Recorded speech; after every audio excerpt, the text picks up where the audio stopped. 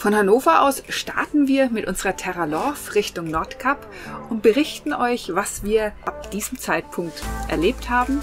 Bilder dazu findet ihr auf unserer Webseite, auf Facebook und auf Instagram.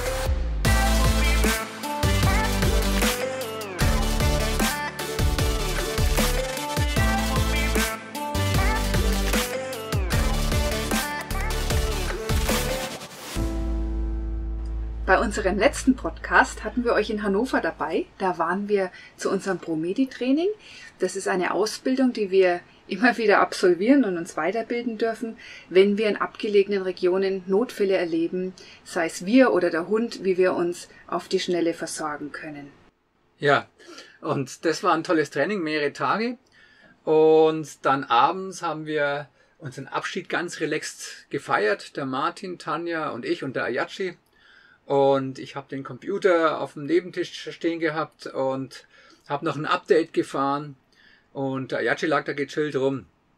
Und warum ja, auch ja, immer. Dann war er plötzlich nicht mehr gechillt, ist aufgesprungen und mit ihm der Computer. Warum auch immer hat der Yachi sich für, für seinen Schwanz irgendwie in das Kabel reingebracht und ihr könnt euch nicht vorstellen, also ich, unglaublich. Er hat den Computer runtergerissen von dem Tisch inklusive der externen Festplatte und ich habe noch gesehen, wie der Computer durch die Luft fliegt, ein Salto macht, auf den Boden knallt, die Festplatte aus dem Gehäuse rausspringt und denke, scheiße. Das ist, das ist nämlich genau der Super-GAU, den keiner will auf Reisen und sonst noch schon gar nicht, aber auf Reisen erst recht nicht. Und ich bin dann gleich aufgesprungen und habe mir meinen Laptop angeguckt und der hatte einen Bluescreen also war nichts mehr dran und dann haben wir den ausgeschaltet und wieder eingeschaltet und hat der Laptop sich tatsächlich gefangen. Ich hatte es nämlich schon mal, noch schon mal so, ähm, dass in Australien mir äh, der Bildschirm abgerissen äh, ist von, von einem Speziallaptop und habe also so einige anderen, die eine oder anderen sehr schlechten Erfahrungen. Naja, und ähm, jetzt äh, war, der, war der Laptop also in Ordnung und dann haben wir die Festplatte angeschlossen mit, den, allen, mit allen Daten drauf, Bilddaten, was wir halt so auch brauchen für unsere Veröffentlichungen. Und die Festplatte war im Eimer eine 8 Terabyte Festplatte, im Eimer kaputt. Damit war für mich mehr oder weniger der gechillte Abend gelaufen. Aufgrund der Erfahrungen hatte ich eine zweite Festplatte dabei oder habe ich eine zweite Festplatte dabei. Und damit war das Drama nicht so groß auf der einen Seite, aber man braucht als Reisender, und das kann ich nur empfehlen, die Bilddaten außen müssen unbedingt immer aus der Kamera raus und auf eine externe Festplatte gespielt werden, weil wenn man da einen falschen Knopf drückt, dann kann es durchaus sein, dass mal die Bilddaten weg sind. Das ist schon vielen Menschen passiert und es macht auch keinen Sinn, die nur einmal abzusichern, weil diese Bilddaten sind für viele Menschen die Erinnerung und die Freude und dann äh, passiert halt irgendwas und, und wenn der Hund seinen Schwanz ins Kabel bringt, also abgefahren. Und so hatte ich also auf jeden Fall die Bilddaten zweifach abgesichert, auch zu Hause noch abgesichert auf einer Cloud und auf einer Festplatte, die wir aus dem Haus lagern. Also das ist, das ist einfach zu dem Thema Daten, wie man damit umgeht, dass es wirklich ein ganz, ganz wichtiges Thema ist für viele Menschen, weil ich mir vorstellen kann, dass der eine oder andere, wenn der seine Daten verliert, auch einen Herzinfarkt kriegen kann. Also das ist ja das Leben teilweise. Naja, und dann haben wir uns, hm, wir wollten am nächsten Tag weiter und haben dann ähm, über den Kurierservice uns nochmal zwei ähm, ja, zwei externe Festplatten schicken lassen und ich habe dann, ja, und ich arbeite bis heute dran an der Datensicherung. Ähm, also tagelang hat es jetzt gedauert. Wie auch immer, das Thema ist jetzt durch und wir, wir konnten weitermachen. Das Ganze hat dazu geführt, dass wir eben nochmal zur Post gegangen sind und haben uns dann auch gefragt, ach ja, Vielleicht sollten wir auch noch ein bisschen was abspecken von unseren Dingen, die wir da so engagiert in unsere Terra Love geladen haben. Es ist ja auch schön, wenn man ein bisschen Platz hat in den Regalen. Also hat es dazu geführt, dass wir nochmal komplett unsere ganze Ausrüstung durch sind. Und ja, was braucht man drei kurze Hosen, wenn es zwei auch tun? Und konnten da schon nochmal was abspecken. Und da waren wir auch schon mitten in der Geschichte. Das ist so schön oft, wenn man unterwegs ist auf Reisen ist, aber auch in der Heimat. Wenn man andere Dinge tut, die man normalerweise tut, dann kann man ganz schnell in einer anderen Geschichte sein. Und da kommt eine Fahrradfahrerin vorbei und strahlt übers ganze Gesicht und meint, ach, wo fahrt ihr denn Schönes hin? Und bevor ihr weiterfahrt, besucht uns doch in unserem Tauschtreff. Und der Tauschtreff, der war die Straße runter Und da sind wir, bevor wir gestartet sind, tatsächlich hin. Und das ist ein kleiner Laden, in dem Menschen Dinge bringen, die sie nicht gebrauchen. Und für die Dinge, die sie dort abgeben, bekommen sie Punkte. Und für diese Punkte können sie sich in diesem Tauschtreff wieder etwas mitnehmen, was sie eventuell brauchen können. Also es ist eine ganz tolle Sache. Und ja, der Slogan ist unter anderem Tauschen ist das neue Kaufen. Hat uns sehr gut gefallen. Und dass es eben auch viel, viel umweltbewusster ist und dass man nicht so viel wegwerfen muss und es wird nicht so viel Müll produziert. Und das hat uns weitergebracht insofern, dass wir gesehen haben, es, es gibt schon viele Menschen, die bewusst leben und sich Gedanken machen über unsere Umwelt. Der, ja, der Tauschladen wird übrigens auch unterstützt und somit äh, ist das eine runde Sache. Ja, also wird von der Regierung unterstützt. Ja, ne? genau. Und ich finde es natürlich toll, dass wir, wie Tanja schon sagt, dass, dass das was getan wird und es muss immer mehr getan werden. Ich finde den ganzen Wegwerfwahnsinn, den wir betreiben, ähm, das ist, das muss ein Ende haben. Wir können nicht also immer konsumieren, aus der Erde rausziehen, rausziehen, rausziehen, weil irgendwann sind die Ressourcen, wie wir alle wissen, irgendwann sind die einfach am Ende. Und da war der Laden, der, den sogar, sowas ist ja ganz neu in Deutschland. Also für uns, wie Tanja schon sagt, eine tolle Erfahrung. Ja, was mir noch besonders gut gefallen hat, war das magische Board. Das ist ein Schreibboard an der Wand gewesen und da waren Menschen, die sind, die was Besonderes suchen, haben dann hingeschrieben, was sie benötigen, wie zum Beispiel ein Klavier oder ein Bügelbrett oder einen Papierschneider, also alles, was man sich so vorstellen kann, bis hin zur Zinkbadewanne. Und ja, die Betreiberin sagte dann auch, dieses magische Board funktioniert fantastisch, weil sie haben bis jetzt immer alles gefunden für die Menschen, die was gesucht haben. Vielleicht eine Anregung, dass wir sowas auch in unserer Heimatstadt, dass es der eine oder andere mal macht. Naja, also wir haben also dann äh, bei diesem super Wetter, was wir jetzt haben, haben wir dann gut gelaunt, ist Hannover hinter uns gelassen mit äh, zwei neuen Festplatten und dann auch der Hoffnung, dass ich das alles, die Daten dann wieder übertragen kann und sind dann weitergefahren nach Rostock und zwar an den Hafen von Rostock, ähm, sind so ungefähr, ja, glaube ich, äh, 300 Kilometer oder sowas gewesen. Und dann kamen wir in Rostock an, abends, und wir haben also extra keine, kein Fährticket vorgebucht, weil, äh, weil normalerweise buch, buchen ja viele Menschen das vor, aber wir denken dann, wenn man das vorbucht und es passiert irgendwas, auf dem Weg dahin, dann kann es durchaus sein, dass, natürlich, dass man die Fähre nicht richtig, rechtzeitig erreicht, dann ist das Fährticket weg. Ja, oder umgekehrt, man hat unnötigen Stress, wo man sagen könnte, man nimmt sich einen Tag länger Zeit. Ja, genau. Und wir gingen davon aus, dass zu Zeiten von Corona ähm, das sicherlich nicht ausgebucht ist. Und tatsächlich kam man dahin und äh, dann hat es geheißen, ja, heute, heute Nacht ist, äh, ist nichts mehr drin, waren wir zu spät dran, aber am nächsten Morgen konnten wir gleich weiterfahren. Also konnten wir die Fähre buchen tatsächlich nach ähm, nach äh, Trelleborg, äh, Schweden. Genau, war uns auch gar nicht schlimm, weil wir möchten ja auch gerne was sehen. Wir müssen da nicht unbedingt nachts fahren. Ja, genau. Und das Schöne war, der Ayachi, der durfte auch mit an Bord. Ja, aber bevor wir das noch erzählen, wie es auf der Fähre war, ähm, also wie, das war dann auf so einem, an so einem Hafen ist nämlich wahnsinnig laut, da fahren die riesigen Kräne hin und her und die LKW stehen da und haben alle ihre Klimaanlagen an und wir mit unserer Terra Love zwischendrin eine riesen Lärmkulisse. Da kann man nicht schlecht schlafen, waren auch die anderen Wohnmobile da gestanden und wir haben gesagt, das machen wir nicht. Wir fahren jetzt einfach mal ein paar hundert Meter weiter weg und haben hinter Verwaltungsgebäude am Hafen einen ganz gechillten Platz gefunden mit Rasen. Und da war es also ganz ruhig und wir hatten also eine wunderbare Nacht. Das bedeutet für mich immer wieder, dass man einfach nur mal das normale Schema verlässt und einfach nur um die Ecke biegt und nach, nach, nach was anderem guckt und sich auch traut, jetzt nicht unbedingt in der Masse dazustehen, sondern vielleicht alleine. Insofern hatten wir also einen tollen Abend und kamen am nächsten Tag ganz gechillt auf die Fähre. Und den Rasen hast du extra deswegen erwähnt, weil der der Ayachi so schön Ball spielen kann. genau, genau. Also es ist, es ist toll. Ich meine, ähm, wir finden immer wieder, dass so eine Reise, das Drehbuch, ja, der, der Meister oben schreibt, der, der Gott oder wie man es auch immer nennt. Es gibt immer eine Geschichte zu erzählen, wenn man unterwegs ist, wenn man sich bewegt. Und wie wir dann auf der Fähre waren, also die Fährfahrt, die Überfahrt acht Stunden ähm, von Rostock nach Trelleborg. Und dann Adita, hast du gestrickt, ja, hast du die Zeit Ja. verschrieben mit, Stri mit äh, ver, ver, ja, gut getan mit äh, Stricken. Ja, also die Fahrzeuge muss man ja verlassen, da darf man nicht bleiben. Alle mussten raus, das ist aus Sicherheitsgründen und dann kann man eben auf Deck gehen. Ja, das möchte ich auch sagen, warum Ja. das so ist, weil nämlich wenn der hohe See ist und der eine andere hat die Handbremse nicht angezogen, dann ballern die Fahrzeuge ineinander.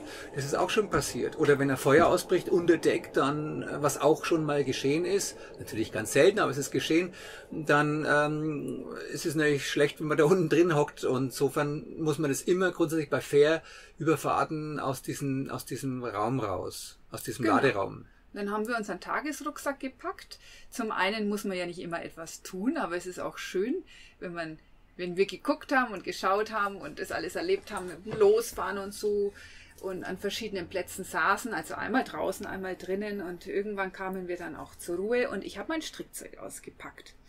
Und wenn ich stricke und mal etwas nicht weiß, weil ich habe ein neues Teil angefangen, eine Jacke, dann google ich das normalerweise und auf YouTube wissen wir ja, da gibt's unheimlich viele Möglichkeiten, da kann man sich alles Mögliche an Wissen rausholen. Aber an Bord war ich nicht online. Das bedeutet, ich hätte mein Strickprojekt entweder hinten anstellen müssen oder äh, einen anderen Weg finden. Und der andere Weg, der war so offensichtlich, weil da saß ungefähr so 30 Meter weiter weg eine Dame, die hat gehäkelt. Und die hat so ausgesehen, als würde die das nicht das erste Mal tun. Da sage ich zum Dennis, ach, da hole ich mir jetzt mal diese Information, die weiß das bestimmt, wie es da mit meiner Jacke weitergeht, weil mir ist die Strick Stricksprache in diesem Fall nicht ganz geläufig gewesen.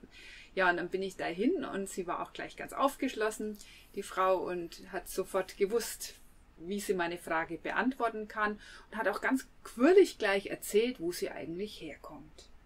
Ja, und sie wollten Urlaub machen in Potsdam mit einem, mit einem Auto und einem Wohnwagen, haben sich einen Premium-Campingplatz, auf einem Premium-Campingplatz einen, einen, ja, einen Spot gebucht. Und wie die da angekommen sind, war es jetzt so extremst überfüllt.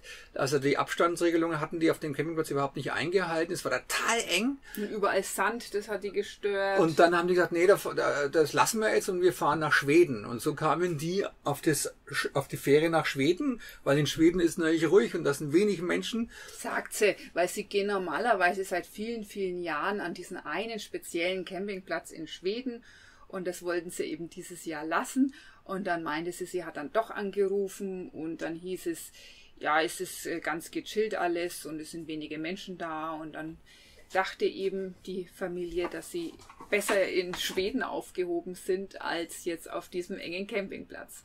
Ja, ich habe erzählt, wir waren vergangenes Jahr in Norwegen und möchten jetzt wieder hin, ein paar Tage in Schweden verbringen, um dann weiterzufahren. Da meint sie, ja, ja, das, sie hat jetzt gelesen beim Auswärtigen Amt, sobald man Schweden betritt, und übernachtet, soll man nicht mehr nach Norwegen kommen. Soll man, dann kannst, darfst du nicht mehr nach Norwegen. Ja, so war das beschrieben. Genau, also und dann kamst du zu mir und hast mir diese, diese Neuigkeiten Eine gebracht. Hiobsbotschaft. Ja, also man muss sich vorstellen, endlich wird endlich aufgebrochen, das Fahrzeug geladen, die Festplatten, alles wieder mehr oder weniger im Gepäck und äh, und ich habe da mein Buch gelesen und dann kommt die Tanja da und sagt, du was auf, wenn wir jetzt, wir sind jetzt über Schweden eingereist, da kommt man nicht nach Norwegen rein. Die Norweger haben die Grenzen dicht für alle Schweden und für alle, die durch Schweden reisen. Aussage der Dame. Also ich Aussage vom Auswärtigen Amt war das, Das ne? alles noch nicht und, und ja, klar, Klar. konnten wir es nicht. Das haben wir dann auch gleich gecheckt, also gegoogelt tatsächlich.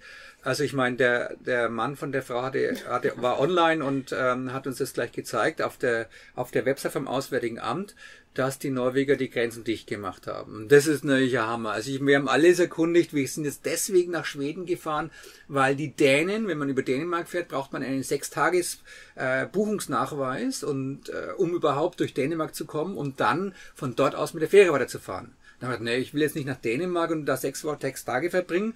Dann fahren wir halt einfach über Schweden nach Norwegen. Und haben aber, also das war mein Fehler, nicht geguckt, was jetzt da wiederum für Regelungen sind. Und wie gesagt, Grenze dicht. Aber es gibt eine Ausnahme.